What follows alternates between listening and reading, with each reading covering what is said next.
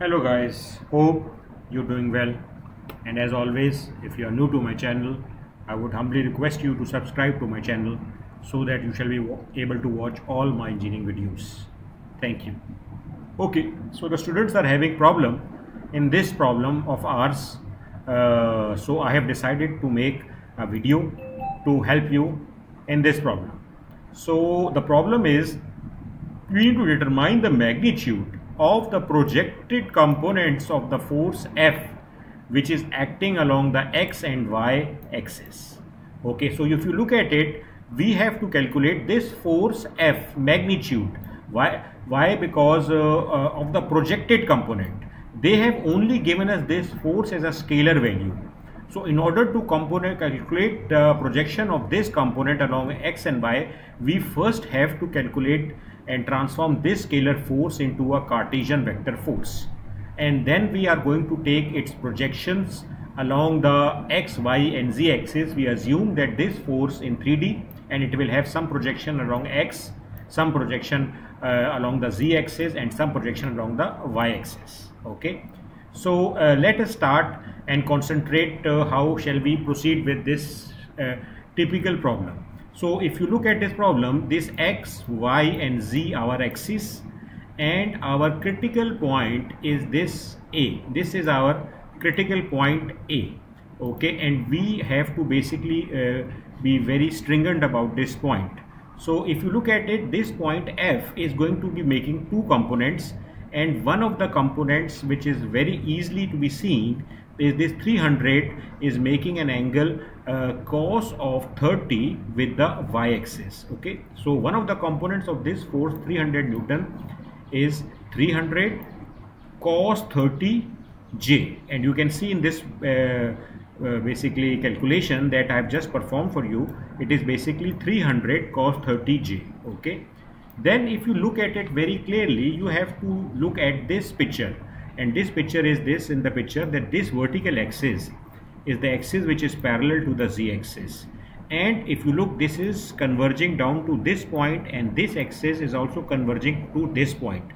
So this line and this line at this point at where they are meeting they are making an angle of uh, 30 degrees.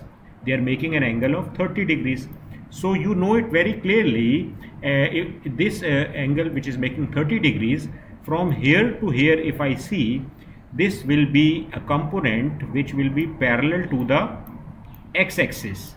This component is parallel to the x-axis but if you look at very clearly this component is basically parallel to this axis x-axis but x dash which means negative x-axis and if you look at it more clearly this is the origin. The positive x is here but the negative x axis is starting from here and going back.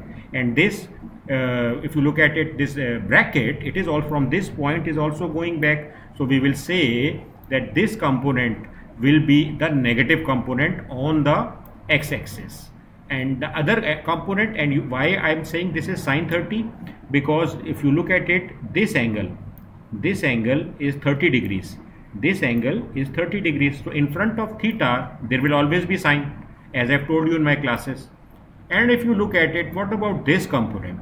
If this component is sine then this component will be cos 30 this component is sine 30 so this is automatically cos 30 but this component is parallel to which axis? It is parallel to this axis which is the z axis now we can very easily resolve this force into its components along i, j and k and transform it from scalar to vector. So this component is already understood very very easy.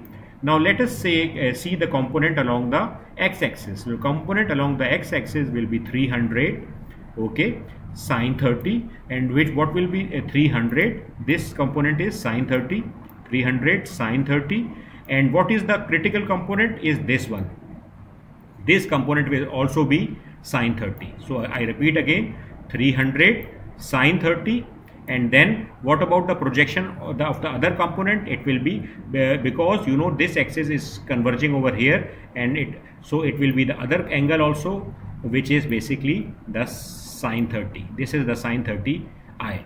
But this is on the negative axis. This is on the negative so i have placed a minus sign what about the k component? The k component will also be 300 uh, sine 30 and what about the other projection? Along the z-axis it will be cos of 30 it will be cos of 30 it is the cos of 30 I cannot just take this because this force is lying in space.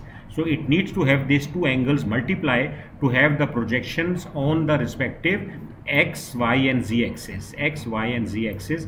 That is why I am using this multiple angles for you guys. Otherwise, we would, if it would, it would have not been bent, we would have very easily calculated in single digit uh, thetas. But it is bent at the back, so these multi angles are coming into the uh, calculation. So just to I hope this point is very understood because if this is understood things will be very easy from now on just perform the basic calculation on your calculator and you will get f equals to minus 75i plus 260j plus 130k now if you look at it why minus because this component is basically along the negative x. This is done.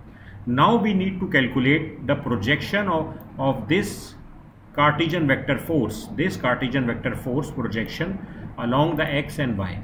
So I have explained projection of F along x and y are the force F, x and y components along with the i and j unit vectors of x and y axis. So we will take basically the dot product of the this force i and j components with the uh, unit vectors that are lying on the negative x-axis and they are which are lying on the positive y-axis. The unit vector that lies on the on the x-axis will basically be uh, the unit vector i, which will be lying on this axis, and the unit vector that is lying on the y-axis will be nothing but it will be the j. Okay, so we are taking the dot product, and since we are taking the dot product, it will be uh, the scalar force fx equals to the vector f dot of uh, the unit vector i which is lying on the positive x-axis okay? Because he's asking for the positive x. If he would have asked in the question negative x then we would have put it minus i over here. But he's asking positive x so we take dot of positive i. So since the projection is only on the x-axis the j and the k component becomes nullified and we take the dot product of minus 75i with the unit vector i on the x-axis and we get uh, the answer as fx equals to minus 75 uh, Newton okay? And I and I will make an angle of cos 0 which is 1 and basically the negative sign multiplied by uh, positive unit vector I plus I it will uh, plus 1 I will be multiplied with minus 75 will give you minus 75 Newton. And this fx is the projection on the negative x-axis okay? This is the projection on the negative x-axis what is he asking for. But to be technically speaking uh, this projection has to be uh, not on the negative but on the positive x-axis you have to take it as the positive x-axis not negative because he is asking that the projection must be on the positive x. So is the projection on the positive x even though the minus sign is coming. Now fy will be the same old story. We have to multiply our force which is this force which is 70 minus 75 i plus 260j plus 129.9k with the unit vector on the y-axis which is j. And we multiply it and we get fy equals to 260j into 1j it comes out to be 260 newton. Okay? So fy uh, projection uh, is the projection on the positive y-axis. So as you guys were having trouble i hope uh, this solution will help you guys. Thank you very much and you have a wonderful day